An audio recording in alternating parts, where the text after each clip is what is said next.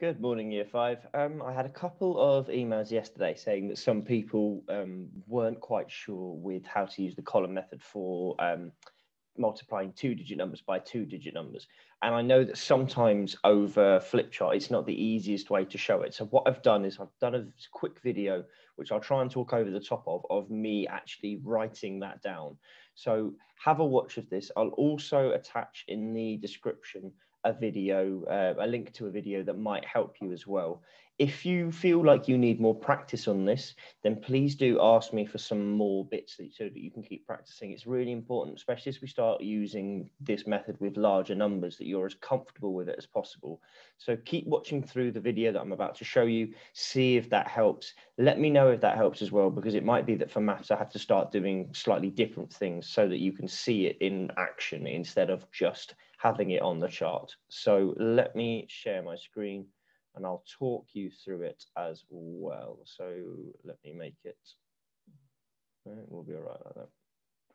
Okay, so here you can see, I'm going to write the sum out into the column method. So we've gone with 72 multiplied by 34. I've got my rows. So I've started with the ones, 2 times 4 is 8, 7 times 4 is 28. So I'll put the 0 in to show that we are doing a multiple of 10.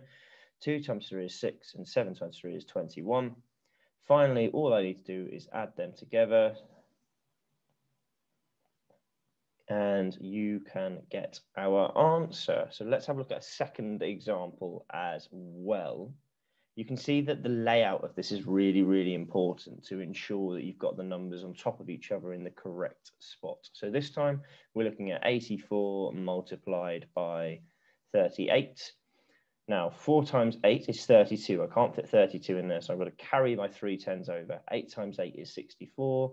Add the extra 3 gives me 67. I'll put my placeholder 0 in there. 4 times 3 is 12, which I can't fit in 1, so I have to carry the 1 over.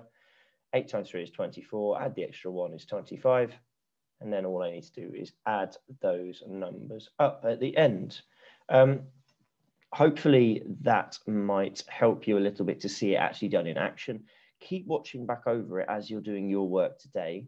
Uh, let me know if you found that helpful. Please do email me and let me know because I can try and include something like that in as many of our math sessions as possible if it's helpful for um, enough people.